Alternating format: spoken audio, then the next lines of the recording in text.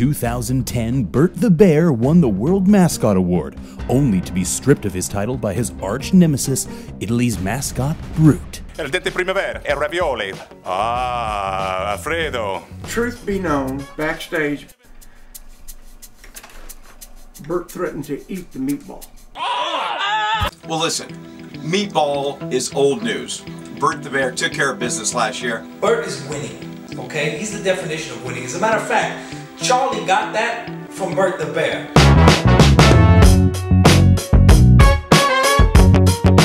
After the Ventura and Claremont beer festivals, Burt was redeemed from the meatball fiasco. Burt the Bear! With all the fame, fortune, and glory, even Burt thought he had it all, until one night, everything changed. Call it divine intervention, call it fate, I don't know.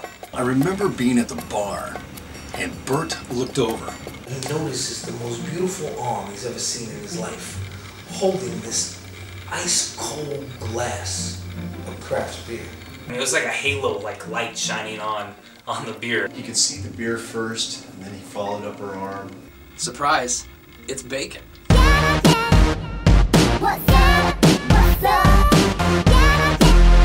You've ever seen a bear fall in love, and I, I don't, I don't imagine that you have, but I have.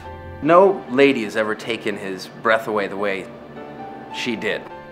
She was hot. I know my sausage from my bacon, and that was a sizzling piece of bacon. This was not turkey bacon, this was the real deal. Thick cut, I think, even. She smelled delicious. She's bacon, but beautiful face. I mean, she's woman bacon. Woman bacon, bacon, bacon woman. Burt was too slow on the draw, and his true love sizzled out the door. Bacon took it upon herself to just get up and leave. I wanted to make sure she got out of there so nothing happened. I mean, that's just girl code.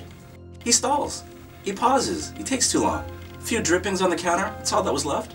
I mean, he was really beating himself up for not going over there and talking to that piece of bacon. We ran outside, only to find her driving away in her car. And the only thing he sees is this little bumper sticker on the back of a car that says, I love Santa Cruz. Clue one, okay? We're on a mission. Santa Cruz.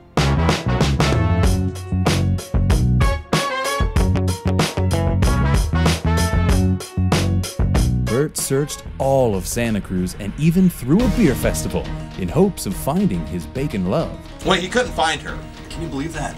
Can't find bacon in Santa Cruz for five days? Still, his search is not over. 2011 brings three beer festivals, one down, two to go. Will Burt find his elusive true love, Miss Bacon? Only time will tell. precious time.